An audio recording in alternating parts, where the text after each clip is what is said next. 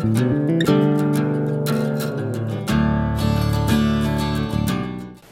now we are honored indeed to honor uh, this year's recipient of the Spirit of the Hill Award. Uh, Davida Foy Crabtree is a 1972 uh, graduate of Andover Newton and has been an ordained uh, minister in the United Ch- Church of Christ uh, since that time. Of her 42 years in ministry, she served uh, a congregation in, in Colchester, Connecticut, represented here by a, a, a parishioner there, as well as uh, then 22 years in conference ministry. You don't spend 22 years in conference ministry without first being called to it, and also bringing extraordinary gifts to that uh, demanding role. And uh, we are as fiercely loyal to you uh, as you are uh, to Andover. So I invite you to come forward to receive this uh, Spirit of the Hill Award and others.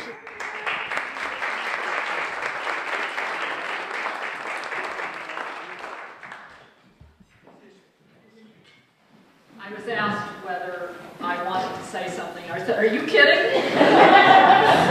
of course I want to say something. Um, the first thing I want to say is I owe a great debt of gratitude um, to certain members of the faculty here who were able to help me convert my pain and my sense of alienation and hurt um, on discovering sexism, which I don't believe I had ever really seen or encountered until I encountered it in the form of people believing that I could not become a minister.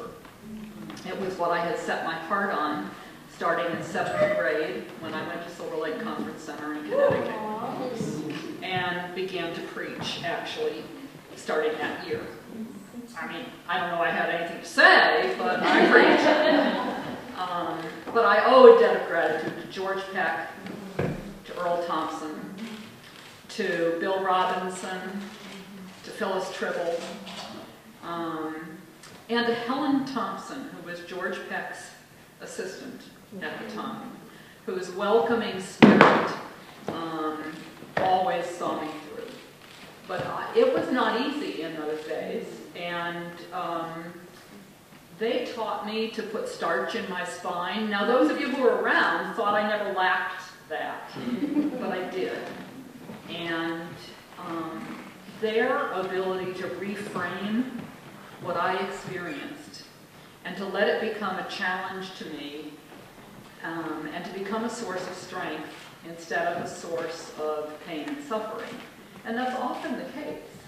And that is what it means to be a beloved community, is to take those moments when we are most vulnerable, those moments when we are most in need of grace, those moments when we're suffering the most, and for the community together to vow that we will transform this. Now, it is true that I had those stickers made that said, this is an insult to women, mm-hmm. and yet there were some women on campus who decided I was an insult, and so when they saw those stickers, they cross off the this, and they put D. Crabtree was an insult. And I understand that. I understand that their understanding of what it meant to be a woman was nothing like this one.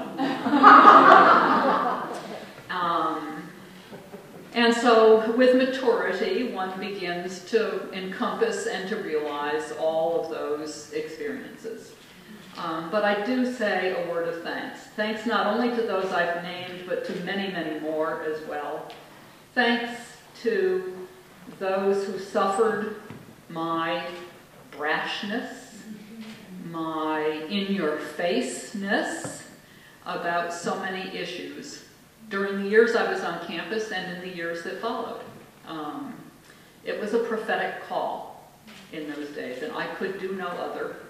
And it has, still has consequences in my life, but uh, you know, I don't think I would do otherwise. Because I think learning to convert one's vulnerabilities into one's strengths is a part of what a beloved community needs to be about and to teach us all. And I am profoundly grateful for that. I want to say a couple of other things. One of which is I've had a conviction for at least 20 years, probably longer than that, but, but at least 20 years, that the support of our seminaries, the support of theological education is the most important agenda in the life of the church. That, yes, the justice agenda is another really important agenda in the life of the church.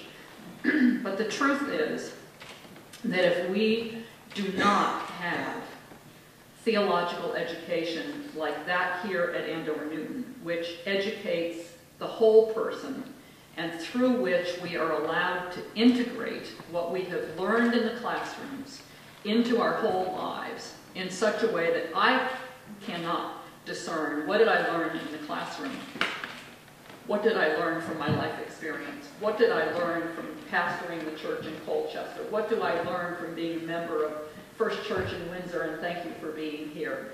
Um, what have I learned from all of my ministry settings? All of that is integrated in my life. Had I gone to a seminary where it was all cerebral and the top inch of my being, I might not have been able to do that integration. And I believe passionately in the kind of education that Andover Newton provides. I believe specifically in this institution. I believe this institution thriving into the future is one of the most important priorities for all of us. If we do not come to the world's problems with God clearly in our sights, if God is not the root through which we address the world's problems, whether those are justice issues or peace issues or inclusion issues or anything else. It isn't going to work. It isn't going to matter. And it is through this institution and its amazing way of educating the whole person and transforming us and enabling us to minister in remarkable ways um, that we can be a light to the nations um, and be a, a, shining light on the top of this hill um, and out in the midst of the world. For me, that's this is I'm almost inarticulate about it because it is so important. Um, seminary education is not ancillary to the mission of the church. It is at the heart of the mission of the church. And we must persist in pursuing that, whether it's United Church of Christ or Unitarians or Methodists or American Baptists or Lutherans or whoever. It is crucially important. And the last thing I would say is that I want to invite every single person in this room to join me in being eligible to wear this pin.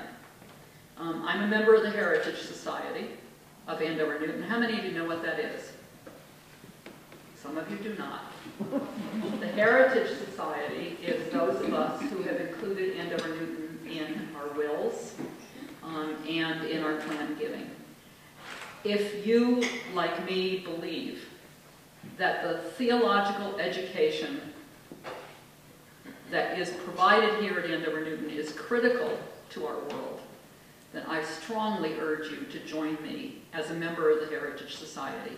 You can leave a specific amount, you can do a planned gift now or later, you can leave a percentage of your um, estate, however you do it.